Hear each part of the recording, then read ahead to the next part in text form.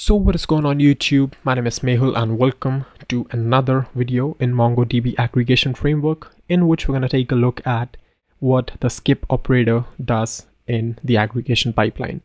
So working with skip operator is basically just like what it says, you skip a certain set of documents, right? So what I'm going to do is I'm going to remove this right here and I'm going to run this query again so you see that this is the query we have with two documents, username Mehul, age 21, username Alex, and age 18. Now if I write skip one here, what is going to happen is that whatever operator 3 here is, it's going to receive all the documents except the first n documents which is written. In this case, just the one. So it, will, it won't receive the first document. It will only receive the second document, right? Only receive all the documents after the first one, which in this case is just a single document.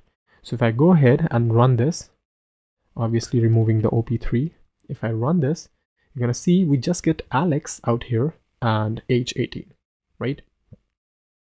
Similarly, you, you saw that with limit, what happened is that you restricted the number of documents which were about which were allowed to pass. So in this case, we only got the first document. And with skip, we only got the last or the second document, I should rather say, right? Not the last document, the second document, because we, we skipped the first document. So this is how skip works.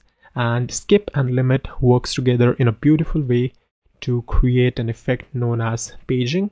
So paging basically means that you have um, you know for example let's say you are a big site who has tens of thousands of blog articles and now you want to create a paging like thing where you have those little numbers at the bottom of the screen and you can jump to a single page right?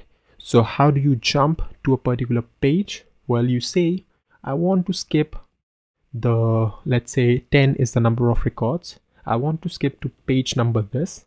So you have um, this as the page number. And what you want is you want to limit the result to how many records you want. So you skip the first uh, let's say this is 5 so you skip the first 50 page records and then you limit the results by the top 10 so you get basically you get the sixth page for yourself right? So that's how skip and limit would work together in big applications in the inside the pipeline aggregation framework and yeah that's pretty much it for this video. If you liked it don't forget to subscribe and like the video. And that's all. Thank you for watching. I'll see you then in the next one